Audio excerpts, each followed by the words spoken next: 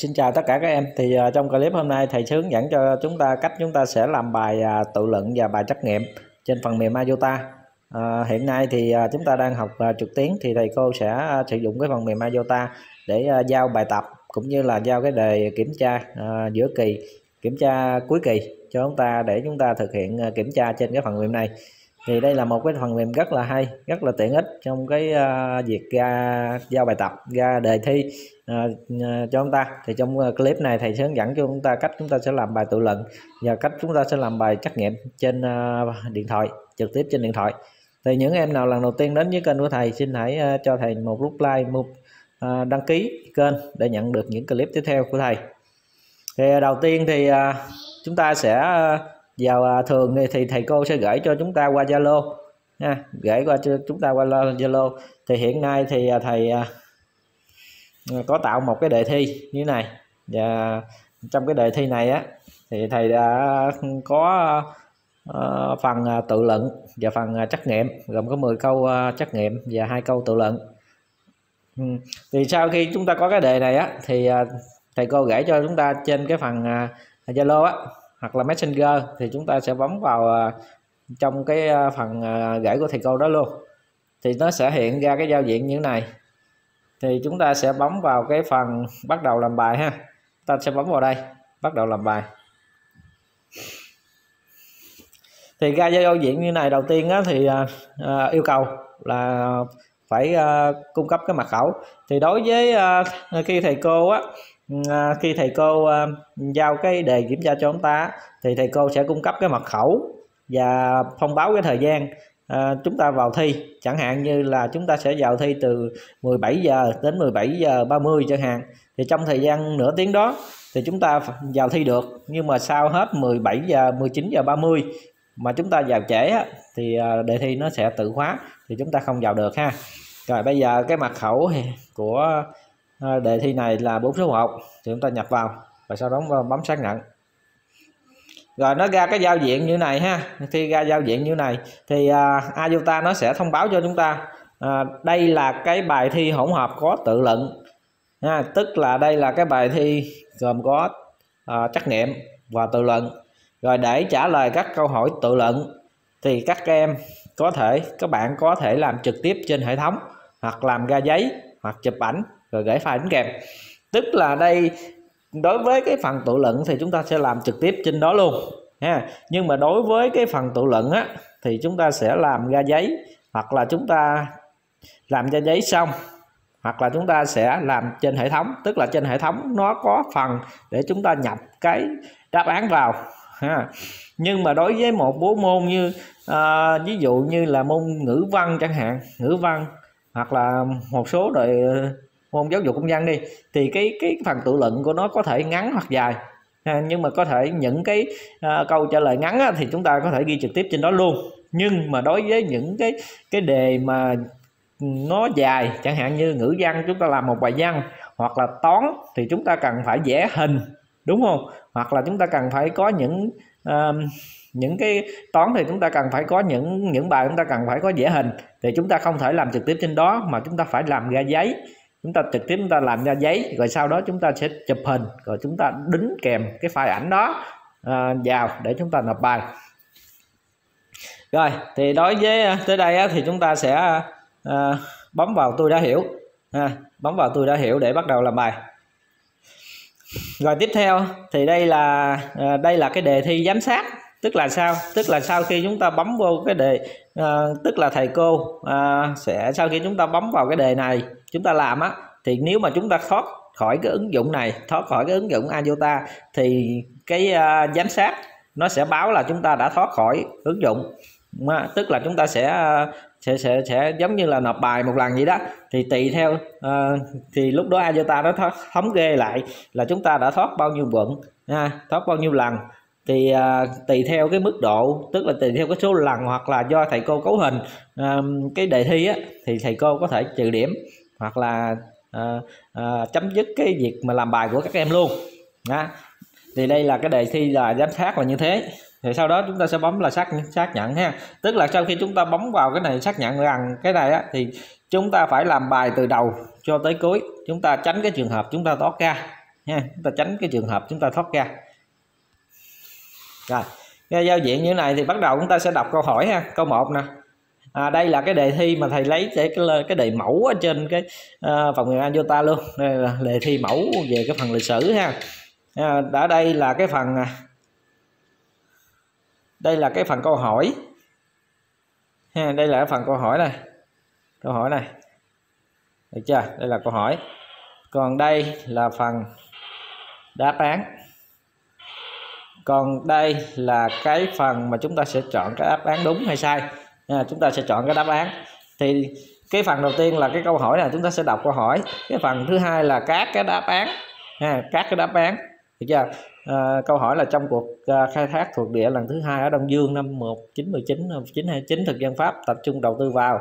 Ở đây là các cái đáp án trắc nghiệm A B C D. Còn dưới đây dưới cái phần dưới là các phần chúng ta sẽ lựa chọn cái đáp án nào đúng đáp án nào nào sai ha. Rồi bây giờ thầy sẽ chọn ngẫu nhiên. Được chưa? Chọn chọn ngẫu nhiên này nó sẽ hiện lên cái màu khác so với ba cái câu còn lại. Và nó báo là chúng ta đã chọn câu 1 chúng ta đã chọn là đáp án B. Được chưa tương tự như thế chúng ta sẽ đọc câu hỏi và chúng ta sẽ nghiên cứu kỹ các cái câu trả lời rồi sau đó chúng ta sẽ sẽ chọn cái đáp án. Đây nó báo câu 2 chọn C. Sau đây thầy sẽ chọn ha chọn nhanh các cái câu này ha. Rồi. về cái phần trắc nghiệm á, thì rất là dễ đúng không? Chúng ta chỉ cần chọn cái đáp án thôi một trong bốn đáp án.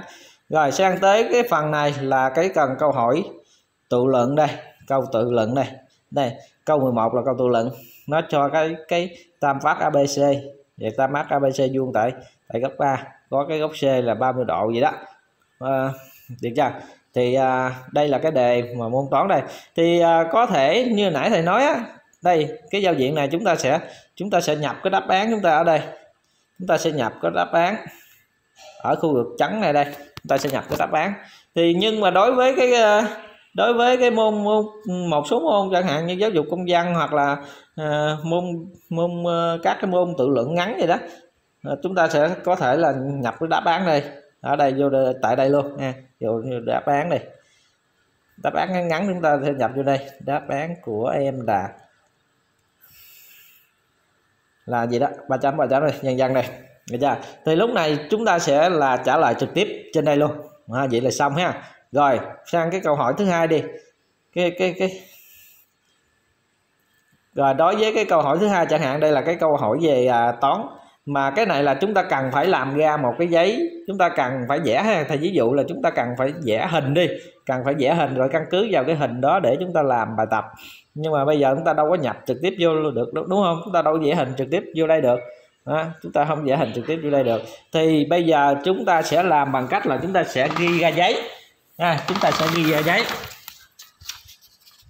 Chúng ta sẽ ghi ra đáp án những cái đáp án chúng ta chúng ta ghi ra giấy và sau đó chúng ta sẽ đính kèm cái file chúng ta ha. Bằng cách là chúng ta sẽ chọn cái file đính kèm nè. À, chúng ta sẽ chúng ta sẽ chọn cái file đính kèm. Đây chúng ta chọn vào file đính kèm tự luận nè. Đó ta chọn vào đính kèm tự luận. Rồi chúng ta sẽ bấm vào đính kèm tự luận. Rồi như thế này thì chúng ta sẽ bấm vào cái nơi đây là nơi chúng ta sẽ up cái file bài làm nè. Nơi đây là chúng ta sẽ up cái file bài làm của chúng ta nè. Đó nơi đây là chúng ta sẽ up cái file bài làm của chúng ta. Thì cái bài file bài làm nó sẽ hỗ trợ gồm có file ảnh file uh, tiếng và hoặc là file pdf được chưa? Thì uh, ở đây chúng ta sẽ bấm vào chúng ta sẽ bấm vào cái phần à, có cái cái dấu mũi tên lên nè, để chúng ta up file ha, chúng ta phan ha, bấm cái phần xác nhận ha. Mà chúng ta sẽ bấm vào cái phần mà có dấu mũi tên lên nè. Được chưa? Bấm vào phần có dấu mũi tên lên, để chúng ta sẽ up file lên.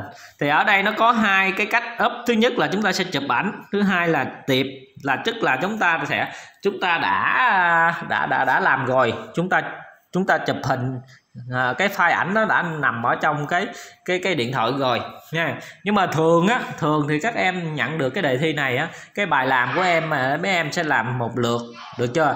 Nên á là các em sẽ chụp hình liền chứ các em không có chụp hình trước được.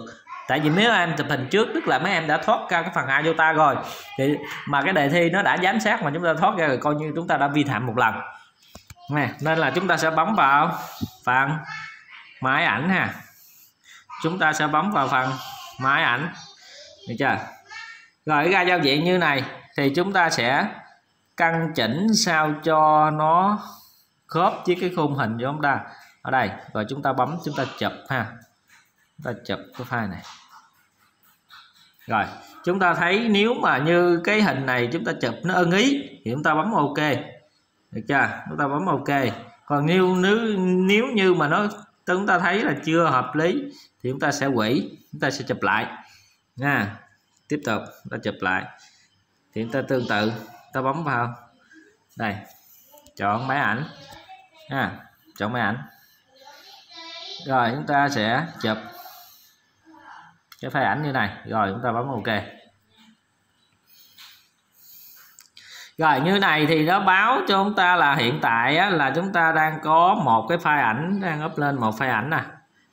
Chúng ta đang up lên một cái file ảnh như này à, rồi bây giờ nếu như mà chúng ta muốn up một file nữa thì sao ạ? À? muốn up một file nữa thì chúng ta vẫn tiếp tục chúng ta bấm vào cái bữa tên này nha rồi chúng ta sẽ chọn chẳng hạn như ở đây là thầy ví dụ như bây giờ chúng ta có một cái file ảnh nó chụp trước đi chúng ta chụp trước đi thì chúng ta sẽ chọn vào vào tiệp ha. Chúng ta sẽ chọn vào tiệp đây, rồi chúng ta sẽ lựa chọn lựa chọn cái hình ảnh mà chúng ta muốn chụp á, chụp trước á. Đây đây, chẳng hạn như ở đây.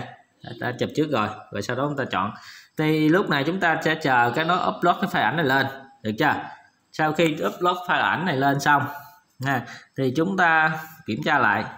Chúng ta kiểm tra lại là xem là những cái file ảnh này chúng ta up có đúng chưa? À có đúng cái nội dung mà chúng ta cần up chưa? Cái bài làm của chúng ta chưa?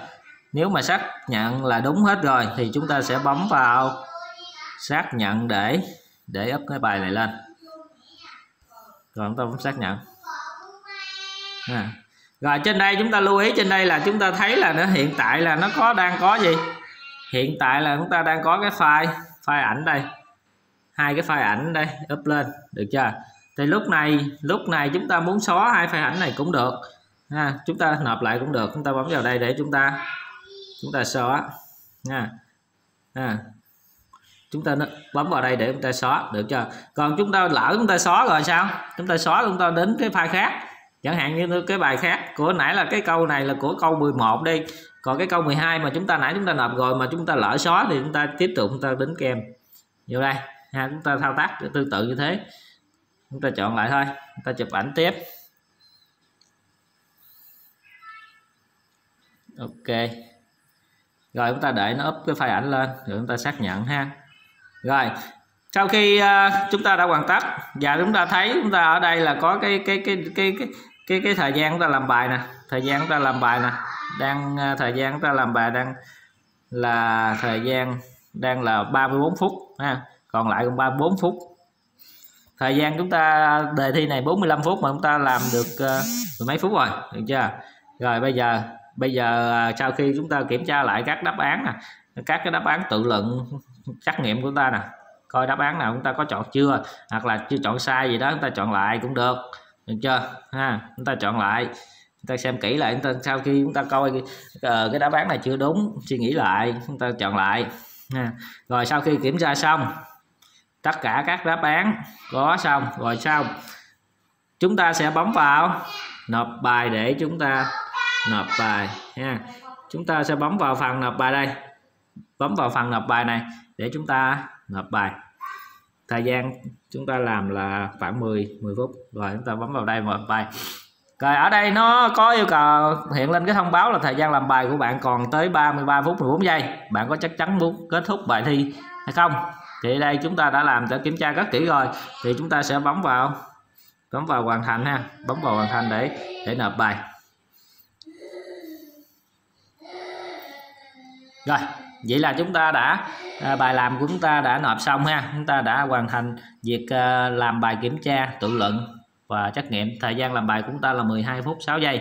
À, số lượng à, câu hỏi đúng chúng ta là 2 trên 12 nè.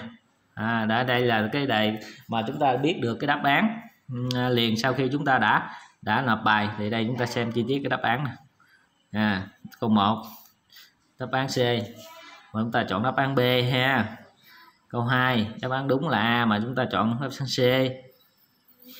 Tương tự như thế đây các đáp án nè. Có một câu 4 chúng ta chọn đáp án này đúng nè. Được chưa?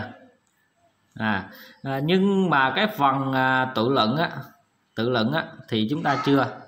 À, tự luận là chúng ta chưa có cái câu à, chưa có điểm. Tại vì cái phần tự luận này là thầy cô phải chấm à, mới cho điểm cho chúng ta. Sau khi chấm xong rồi chúng ta mới sau khi chấm xong rồi chúng ta mới biết ha mới biết điểm được chưa? À, nhưng mà cái file điểm của chúng ta cái file tự luận chúng ta đã nộp lên rồi.